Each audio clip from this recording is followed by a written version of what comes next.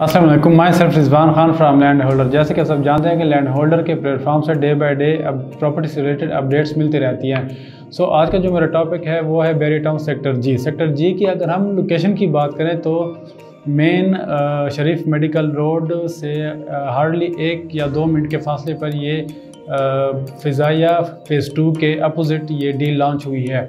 अगर हम ब्लॉक्स की बात करें तो चार ब्लॉक्स में ये डील लॉन्च हुई है। अगर हम प्लॉट्स की कैटेगरी की बात करें तो पाँच से दस मल्ला के कैटेगरी के प्लॉट्स अवेलेबल हैं। प्राइस की बात मैं करता हूँ, पाँच मल्ला। पाँच मल्ला जो बेस प्राइस है, वो बावन लाख है। बावन lakh with on on depend on location है। ढाई लाख से लेके कोई सात, आठ, नौ लाख तक ऑन चल रहा है पाँच मल्ला पे।